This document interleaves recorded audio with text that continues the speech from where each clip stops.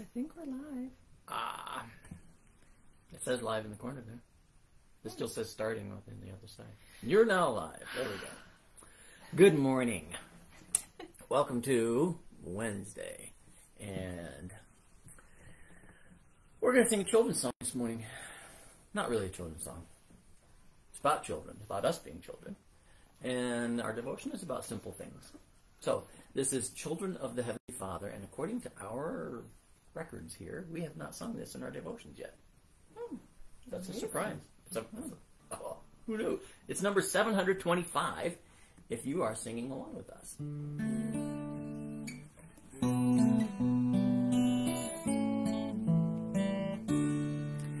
Children of the Heavenly Father, safely in His bosom gather, nestling bird nor star in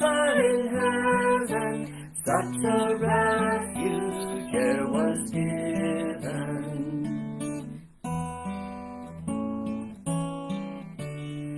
Now God His own tend and nourish, in His holy courts they flourish. From all evil things He spares them, in His mighty arms He bears Neither life nor death shall ever from the Lord His children sever. Unto them His grace He showeth, and their sorrows all He knoweth. Though He giveth or He taketh, God His children never forsaketh. Is a loving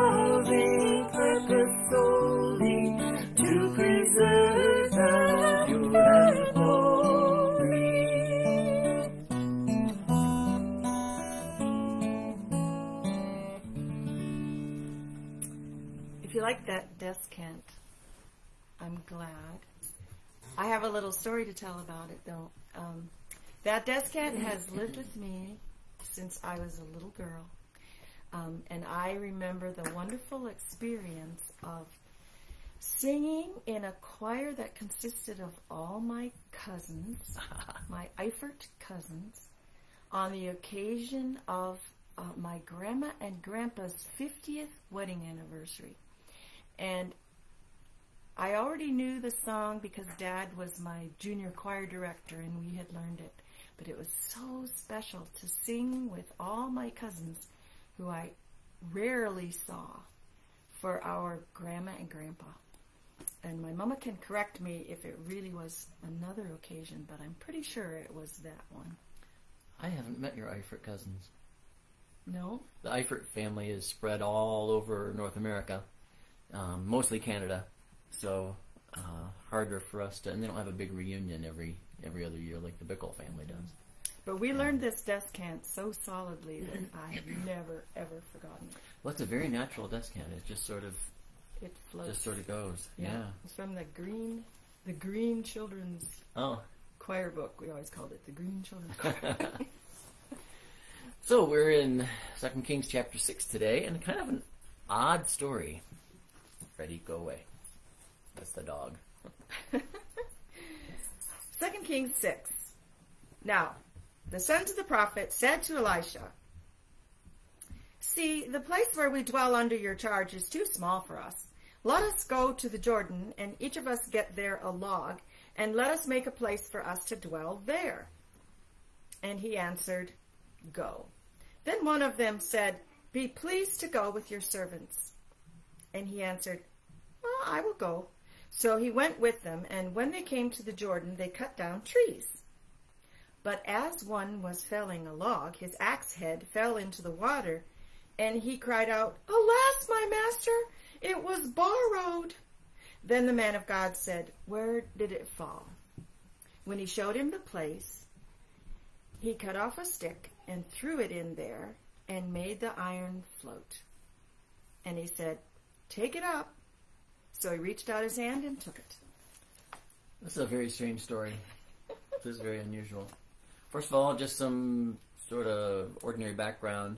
um, when they're going to build a house, they want to build a larger structure for them to stay in because there's a lot of prophets, evidently. Um, and they go down to the Jordan to get wood because it's a pretty arid country and there's not a lot of trees of any significant size except down in the river valley. So so they go down there and they're gonna and the logs that they're cutting are really for roof poles. They're they are uh, they're not going to build log cabins. Okay, this is not Little House on the Prairie. They build they they make uh, bricks, build it up, and then they have the the logs on the top, and then they make their roof with that. So that's what that's about.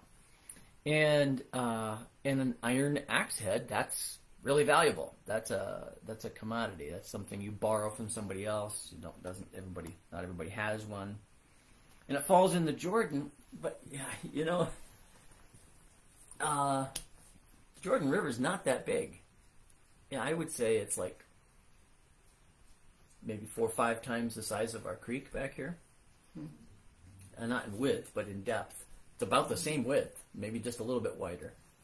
Um, at least the places where we were at the Jordan, it was not this rapidly flowing. At the time we were there, uh, I'm sure different seasons, you know, but and an iron axe head would go straight down. It's not like uh, when I lost my sunglasses years ago in the Rifle River, which is not, which is hardly a river at all, and it's only a couple feet deep. But I knocked them off my head. They went down, but they could be swept down the stream, and so I never found them.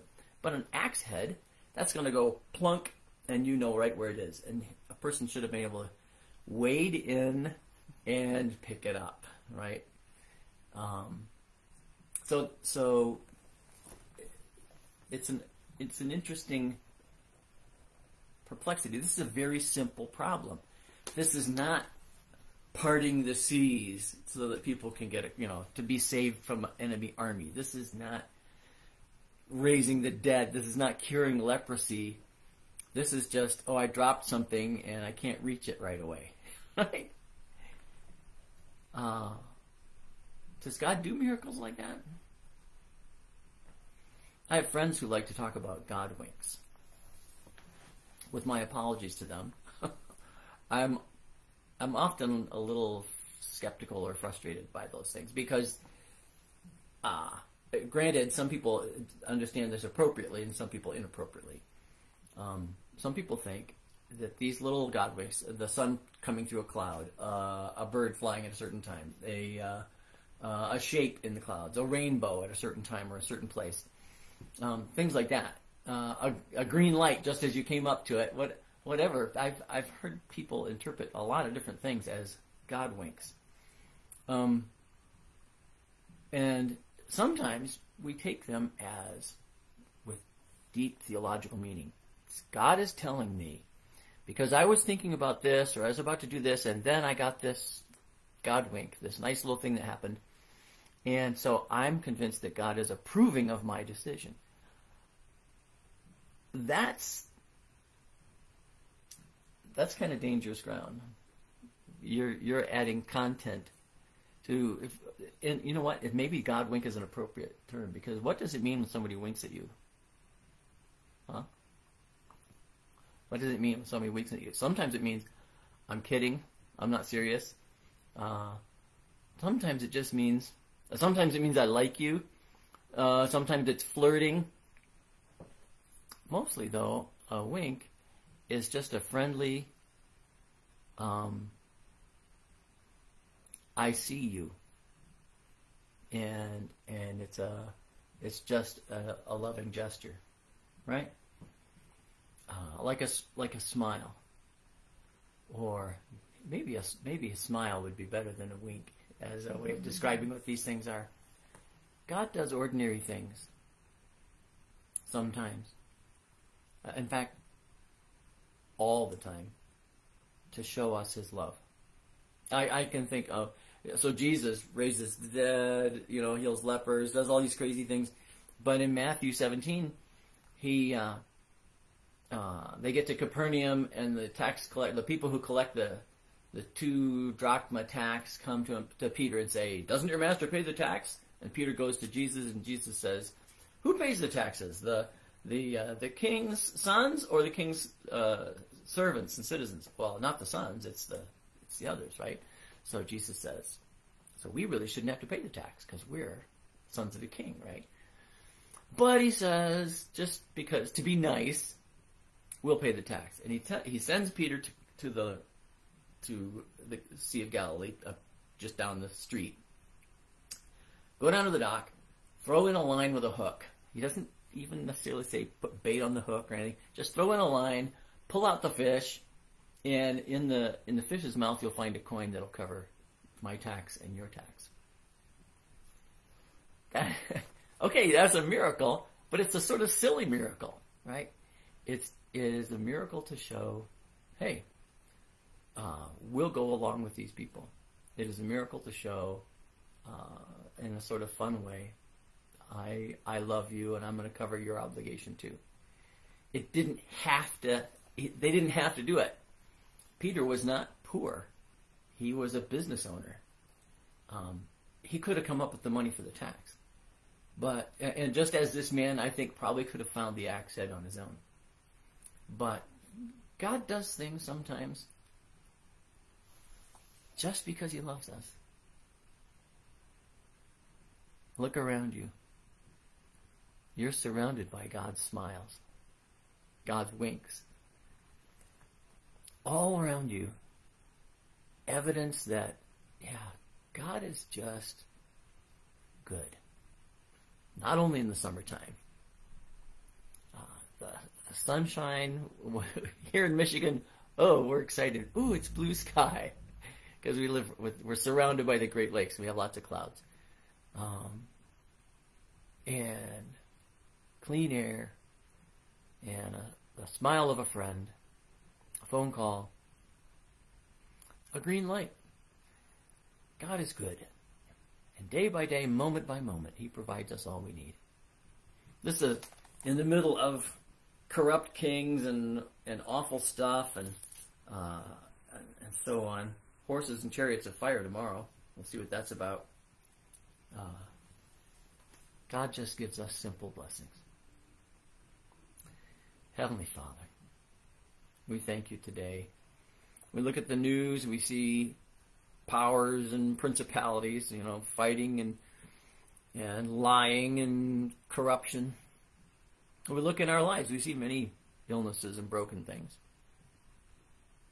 But we look around us and we see constantly our daily bread, our our shelter, our transportation, our our bodies and our strength, a, a night of rest, uh, the blessing of of a loved one, a spouse or a friend. You give us these things. Oh Lord, maybe they don't seem miraculous to us, and yet we are not entitled to any one of them. That we have all these things, this is a good reminder of your smiling face, your love for us. Thank you. Especially, Lord, thank you for the cross of our Savior Jesus Christ, for the the broadest smile there could be that you gave your Son for us. Amen. Amen. And now may the Lord bless you and keep you. The Lord make his face to shine upon you and be gracious to you. The Lord look upon you with his favor and give you peace. Amen.